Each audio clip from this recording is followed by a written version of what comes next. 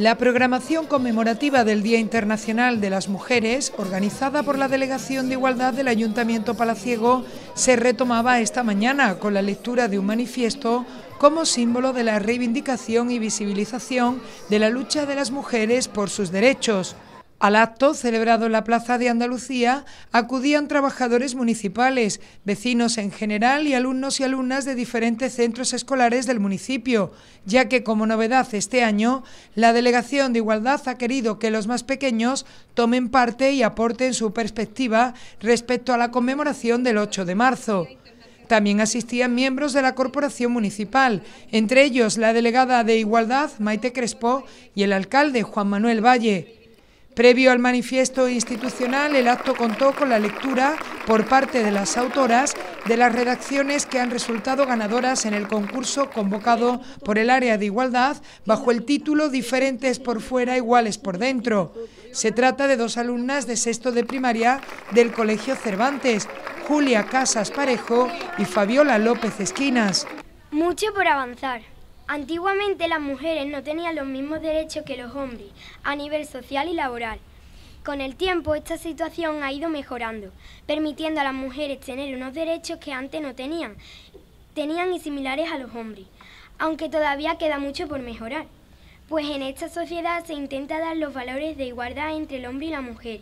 En mi opinión, se les suele dar más oportunidades para ser jefe a los hombres que a las mujeres, algo que no debería de ser así. También observo en la tele que la mayoría de los deportes que pone son masculinos, dándole poca importancia al deporte femenino. En conclusión, debemos de seguir haciendo todo tipo de actividades de concienciación para la igualdad entre el hombre y la mujer. Una de las principales actividades es el día 8 de marzo, donde celebramos el Día de la Mujer, sus derechos y la igualdad de estas, de estas entre ante los hombres. Ya está. Laura es la mediana de su gran familia, son 10 hermanos. Ella tiene 11 años. Antes, su padre siempre estaba fuera, con los amigos y en el trabajo, y era su madre la que, se tenía que, la que tenía que encargarse de todo, poner el desayuno, la comida, poner la lavadora, etc. Y por la tarde era la que tenía que ayudar a todos a hacer los deberes. Un día, la maestra le pidió a Laura una redacción sobre la igualdad para un concurso. Ella sabía que su padre debería de estar en su casa cuidando de ellos, al igual que su madre, y que su madre también tenía derecho a salir con sus amigas, sin tener que preocuparse de con quién deja a los niños porque su padre no está en casa. Entonces, Laura quiso representar eso en esa redacción. La redacción de Laura expresaba claramente lo que ella quería decir, que debería haber igualdad entre los hombres y las mujeres. Laura, que sabía que eso no era justo y que todas las personas tenían derecho a la igualdad, habló con su padre y le dijo, papá, Mamá siempre está sola con nosotros, incluso con todo el trabajo que eso conlleva, siempre intenta buscar trabajo. Y solo porque es una mujer y tiene hijos, le dicen que no. Después de varios, varios años, la madre de Laura ya tenía trabajo y su padre se quedaba con Laura y sus hermanos y hermanas. Así terminaron siendo una gran familia, feliz y para ellos la mejor del mundo.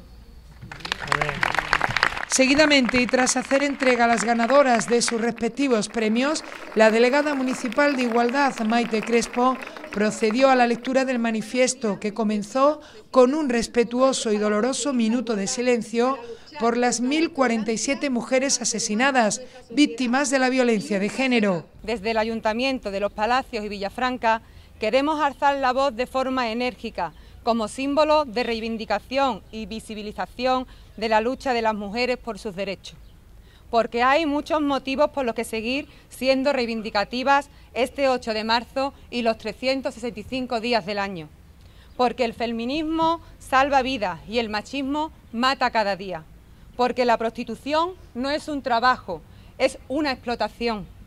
Porque hay que dejar de hablar de las maltratadas y hablar de los maltratadores porque este cuerpo no se viola ni se mata, porque no es abuso, es violación, porque el futuro será feminista, porque falta sororidad entre las mujeres, porque si nosotras paramos, se para el mundo, porque sigue habiendo mutilación genital a las mujeres en muchos países del mundo, porque sigue habiendo, y tanto que hay, brecha salarial entre hombres y mujeres porque si eres mujer y puedes votar, tenemos que agradecérselo a la feminista, porque un maltratador no es un buen padre, porque ellas no han muerto, las han asesinado, porque no estamos todas, faltan las asesinadas, porque somos la voz de las que ya no están, porque nuestra seguridad de vuelta a casa no debe depender de la suerte,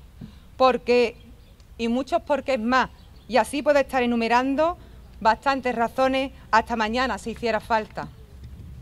La efiméride del 8 de marzo traspasa fronteras y en 2020 la sociedad debe entender y compartir que no podemos dar ni un paso atrás en la lucha por la igualdad entre hombres y mujeres. Tenemos que seguir luchando y pensando en el montón de razones que hay para ello, por nuestras madres, por nuestras hijas, nuestras nietas y las que vendrán, por nosotras y por las que ya no están, y también por nuestros padres, maridos, parejas, hijos y nietos, porque todos tienen que dar paso y que poner su granito de arena en una playa imaginaria cada vez más cercana, pero aún lejana, llamada igualdad. Porque en esa playa, desde luego, el objetivo número uno es erradicar la inaceptable realidad de los asesinatos de mujeres a manos de sus parejas y exparejas. Por todo ello, desde la Delegación de Igualdad del Ayuntamiento de los Palacios y Villafranca, afirmamos que el feminismo es imprescindible para conseguir la igualdad, para luchar contra la intolerancia y transformar nuestra sociedad. Ni un paso atrás. Muchas gracias.